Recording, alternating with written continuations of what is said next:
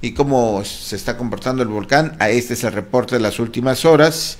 La Coordinación Estatal de Protección Civil informó que de acuerdo con el monitoreo mantenido en las últimas horas por el Centro Nacional de Prevención de Desastres, eh, se detectaron ocho exhalaciones acompañadas de vapor de agua, otros gases volcánicos y cenizas.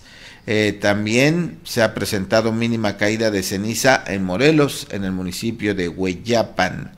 Así es que el Senapred detalló que el escenario más probable en el corto plazo es que continúe una actividad similar a la que ya se ha presentado recientemente, caracterizada por la ocurrencia de tremor de alta frecuencia y amplitud variable. Así es que sigue monitoreado el volcán.